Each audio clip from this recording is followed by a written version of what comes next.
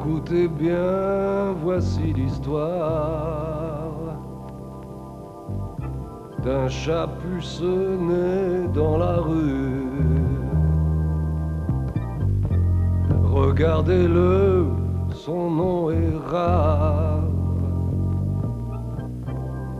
car on le nomme le roi Sylvain.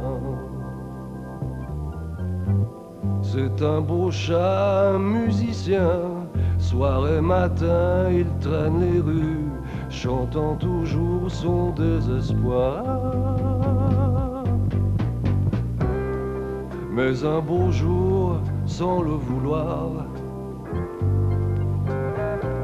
il trouve soudain une poubelle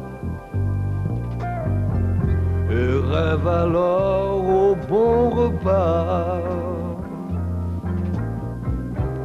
qu'il pourra faire ce jour-là.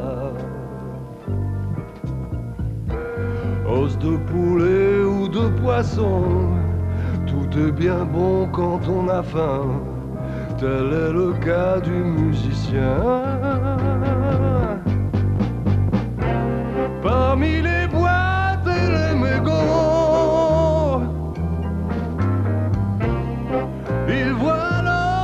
Ça bouger.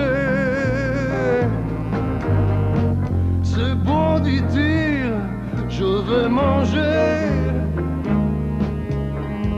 un repas frais, ça va changer. Adieu tristesse de l'estomac,